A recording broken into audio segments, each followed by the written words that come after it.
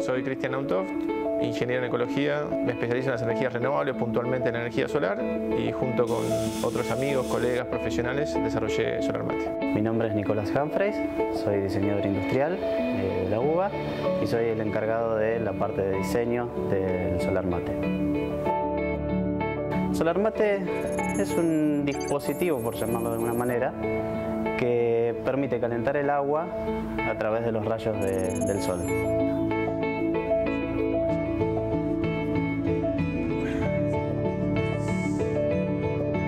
tamaño de un termo común, o sea, cuando le cargas el agua eh, funciona como un termo común, básicamente, tiene la apariencia de un termo común, solo que en la mitad tiene un mecanismo que te permite eh, abrirlo a la mitad y deja expuesto una ampolla de doble vidrio que está en el interior que contiene el agua y unos espejos reflectores eh, en los cuales la luz se refleja y va a parar el calor a, a lo que está dentro de la ampolla esa especial.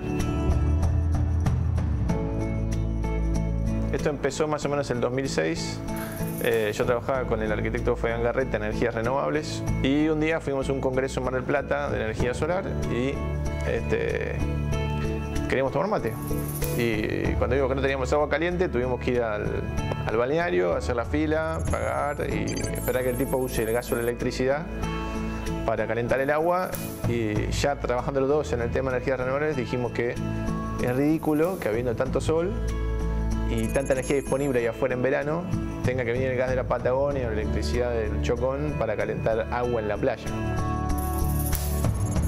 Empezamos a cruzar un par de ideas, hicimos lo que es una prueba de concepto, muy básico, un caño de PVC, una lata, un tubo acrílico, como para plasmar lo que habíamos dicho, después se lo regalamos como regalo de cumpleaños a un amigo en común pero por supuesto era un asco. Lo que había hecho era un bodoque cuadrado. Mi parte eh, estuvo abocada a darle forma, si se quiere, de, termo a todo este, este dispositivo. Las primeras reuniones eran en una pizzería allá por la zona de Cabildo y yo caía con los dibujitos, los chicos caían con su termo, sus piezas o las cosas que estaban desarrollando. Y entre medio siempre estaba la pizza ahí, o corríamos la pizza, o corríamos los, termos, los dibujitos y y trabajábamos siempre después de horas hasta largas horas. Como diseñador, eh, trabajar con ingenieros es difícil. Ellos lo abordan desde la ciencia y desde la, tecnología muy, muy dura, los hechos y las pruebas. Cristian venía a las reuniones con papeles y curvas que él había trazado para la geometría particular, tenía que ser así y así. Y yo desde mi lado sabía que de eso estaba ahí siempre en el tira y afloje de, bueno, si me dio 10 centímetros de margen, yo le recorto un par de, centímetros y le presentaba la propuesta porque a mí me parecía que quedaba más bonito y iba a ser más funcional y Cristian me decía, pero esto tiene 9 y no 10 como yo te dije.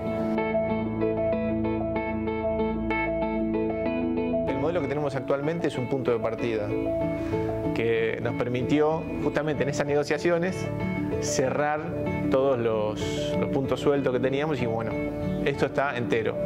Tiene buen diseño, tiene una ingeniería muy buena y me parece que puede andar, entonces por eso sacamos al mercado. Hay una primera tanda de mil unidades que es la que se está comercializando, que a la vez la estamos usando como eh, prototipo o preserie para pulir detalles y, ir gestionando ya una, segunda tirada con todo el feedback de, gente y, los clientes.